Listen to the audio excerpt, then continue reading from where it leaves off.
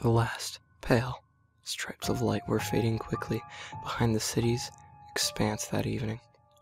The street, still damp from a recent rain, glimmered thinly.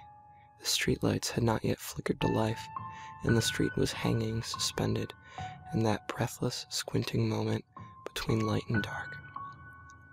I was on my way home from what had been a difficult job, leaving me exhausted and grim. I took long steps, my hands balled into fists, shoved deep into my pockets. It was chilly, not biting cold, but a murmuring one. A cold that sent its pallid hands lightly creeping along your skin, whispers of touch that raised goosebumps, hair in suspension. I felt my heart rate quicken, my breathing become labored. I paused, eyes fluttering shut. I heard the muted crunch of a single footstep behind me. Then nothing. There was someone following me. I set off at a dead run, all springs and gears turning, now that there was no mistaking it. I most certainly had a pursuer. I didn't look back, I only ran. My feet slapped the pavement hard, jarring. We ran together, my pursuer and I. A manic, high stakes dance. Through Hyde streets, back alleys, and over garbage cans. Finally, we reached my street. I jumped one handed over a fence, through the backyard, and ran to my front stoop. I reached my front door, a mad scramble with my keys.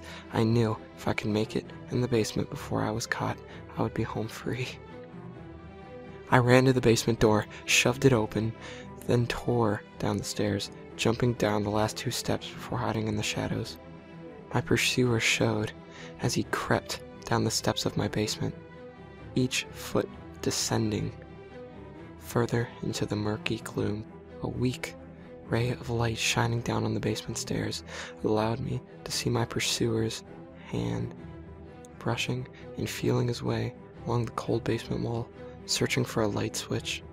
I heard his every breath, ragged, heavy, and wet, and his hand met with the light switch, and it quickly flicked on.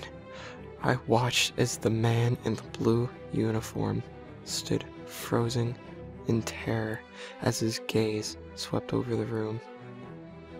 From the blood-stained walls to the gory freezer in the corner to what was left of my previous dinner on the surgical table. He didn't hear me creep up behind him, but he must have felt the throbbing bulge in my pants as I emptied a full syringe into the flesh of his neck.